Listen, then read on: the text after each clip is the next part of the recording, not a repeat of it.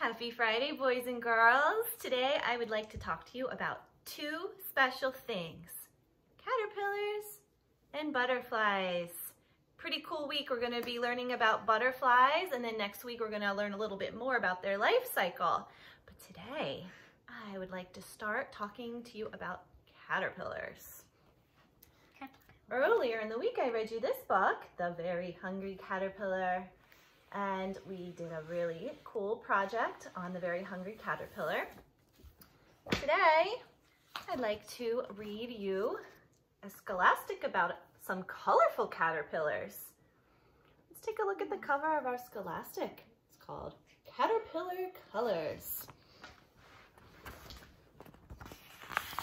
Caterpillars, caterpillars, sitting in a tree. What color caterpillars can you see? Ooh, let's take a look at that cover. What color caterpillars do we see on this tree? See, color is this guy? He's Orange. orange. How about this one? Blue, It's two yellow, colors. Yep. How about this one? Red and yellow. Those are very interesting looking caterpillars. Kind of cool that caterpillars come in all different shapes and colors. Let's open up our scholastic and learn a little bit more about the different colorful caterpillars. Caterpillar rainbow. Oh yeah, that really does look like a rainbow. Look at all those colors. Let's look at the first one up here.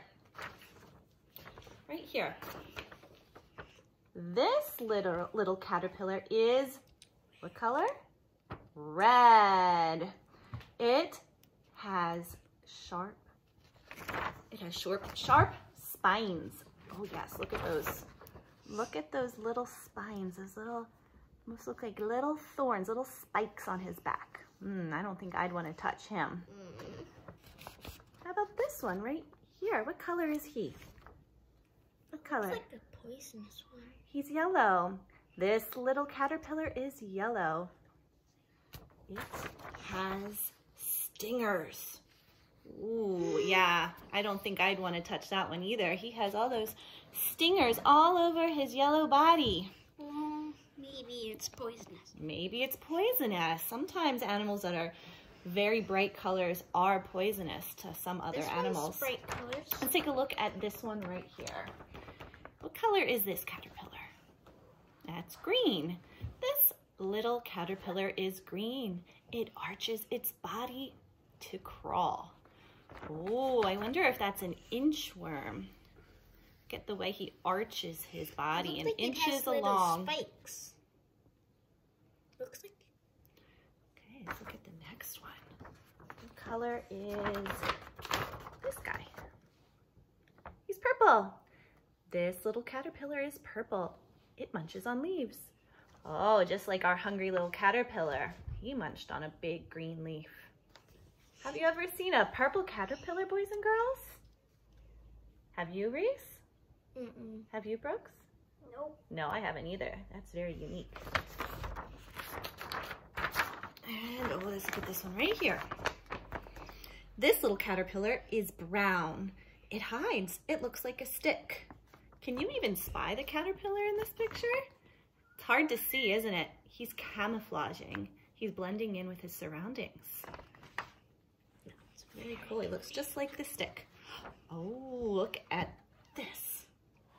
This is definitely a rainbow caterpillar. How many colors can you see on this caterpillar? Hmm. Let's talk about the colors we see. Boys and girls, what colors do you see on this crazy looking caterpillar? I see blue. I see orange, yellow, green. Any, any other colors?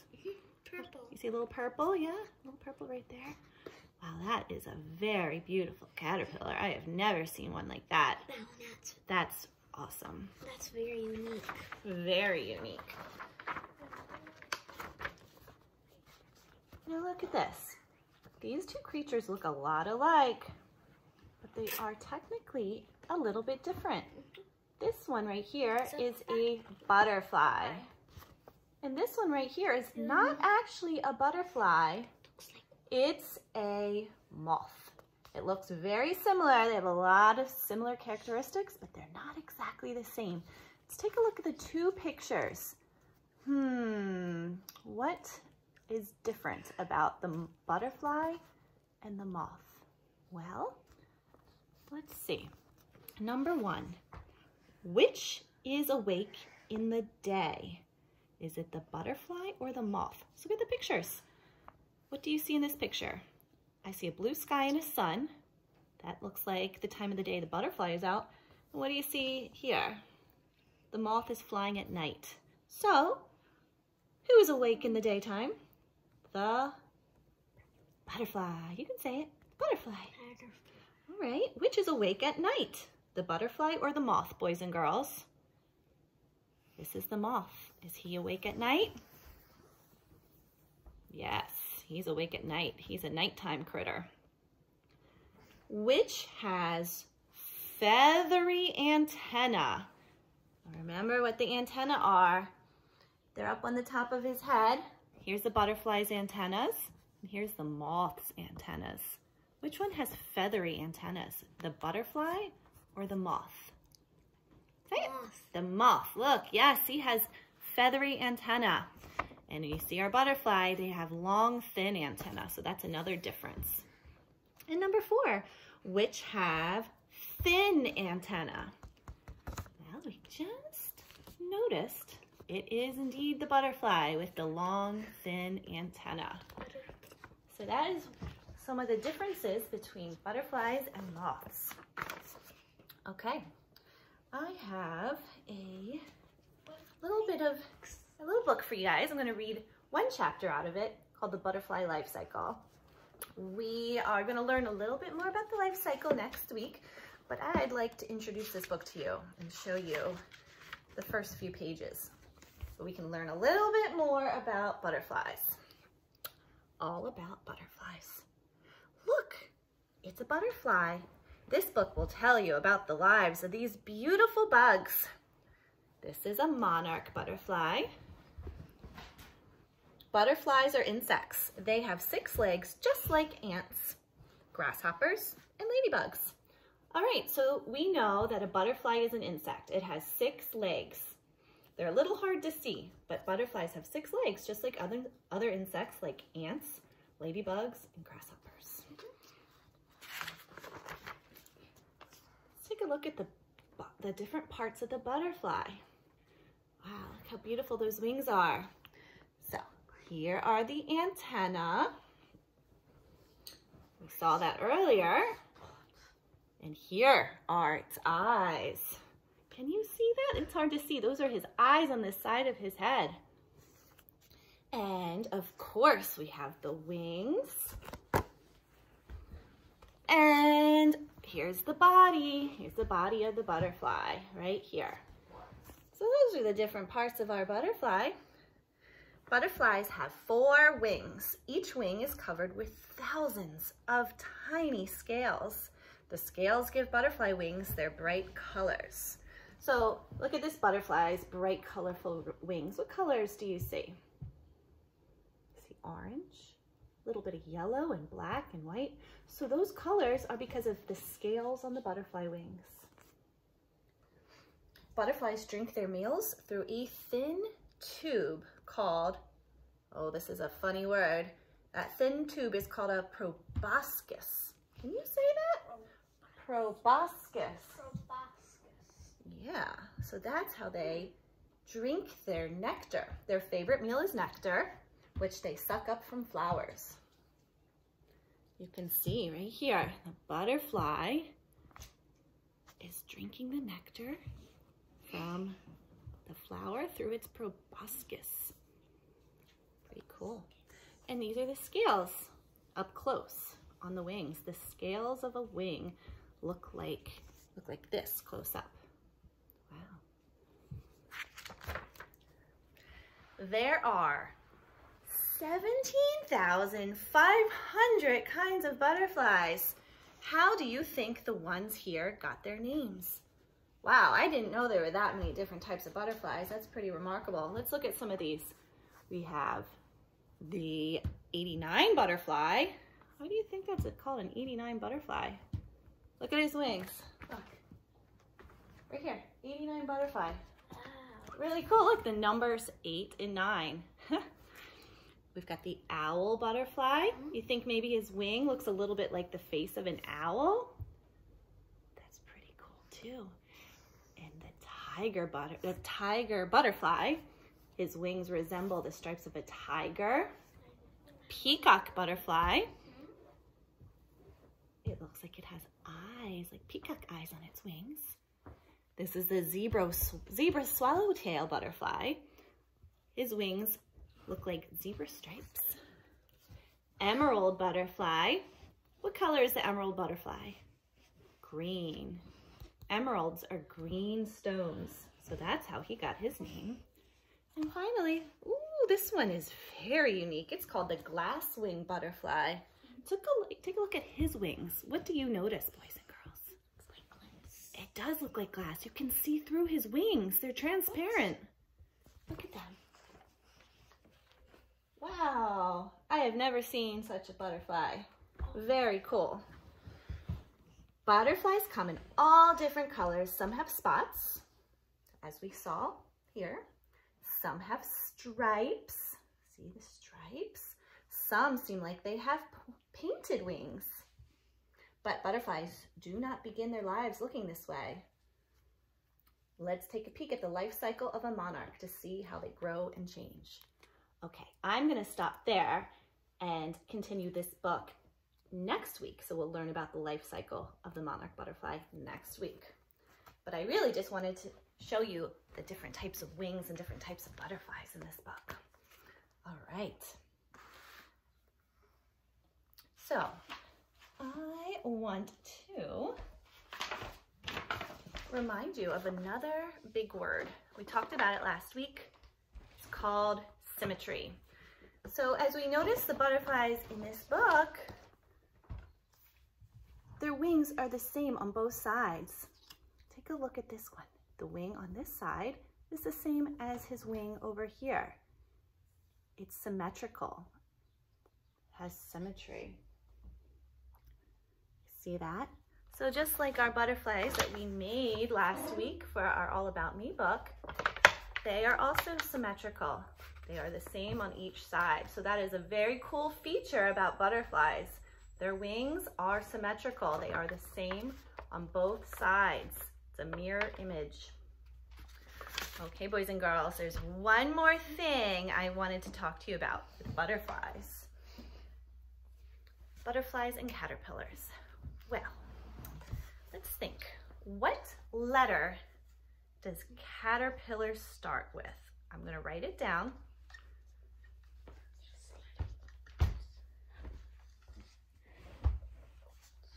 It's a big word here. This is caterpillar. What is this letter right here? That is the letter C. C for caterpillar. I'm gonna write the word butterfly.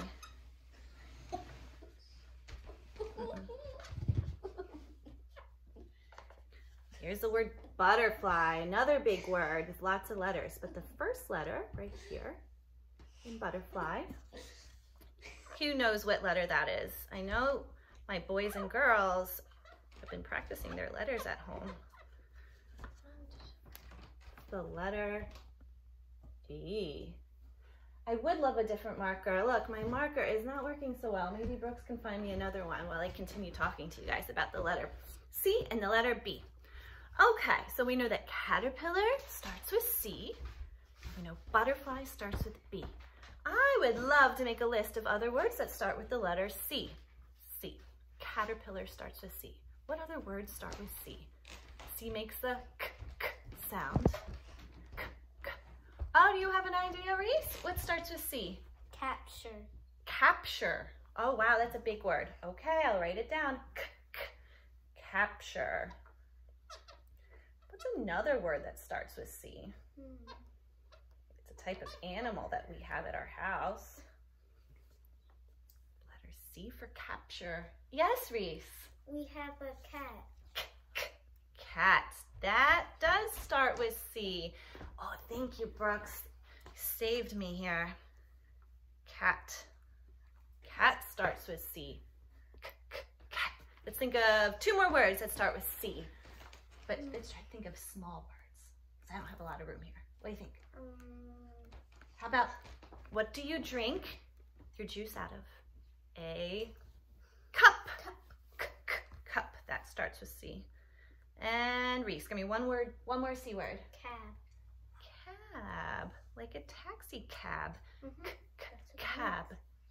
That starts with C too. We got another one. You have one more. Yeah. What word is that? A cap. Cap. Oh, that's a great one. Cap. So we have capture, cat, cup, cab, and cap. And of course, caterpillar. Caterpillar. All right, next letter. The letter B. Let's think of some words that start with B, just like b, b, butterfly. What do you think, Brooks? My name. What's your Brooks. name? Brooks. Brooks. Okay. B, b, Brooks. Okay, Reese, give me a bee name. Bat. Bat. That could be two different types of things. Like a baseball bat or Mm-hmm. one of those flying bats, the animal. B, b, bat. All right, let's think of a couple more. Yes. Bad. Bad. That's true. That's a B word. B, b, bad. B, bad. Brooks. Brown. Brown. Like the wings of one of those. No, it was the caterpillar we saw that was brown that blended in with the stick. B, b, brown. I have one more. One more, Reese. Give me one more good one. Black. Black, another color. A color that we see on the caterpillars and the butterfly wings. We'll stop there. I think that's enough. Oh, blue. So we know that there are a lot of colors that start with B. All right, all right, blue. And back. We'll stop there. Let's look at all those great B words. Brooks, bat, bad, brown, black, and blue. Boys and girls at home, can you think of any more words that begin with B? B, B, B? I know we have a student in our class whose name begins with B. Who could that be? Who is it? Brody. Brody. Brody starts with B. That is correct. Okay, my friends, this ends my butterfly les- lesson for the day. Next week, I am going to talk to you about the life cycle of the butterfly. So I will have lots of cool information to talk to you about when it comes to the life cycle. Okay? Have a lovely weekend and a wonderful Memorial Day and we will see you next week. Bye, friends.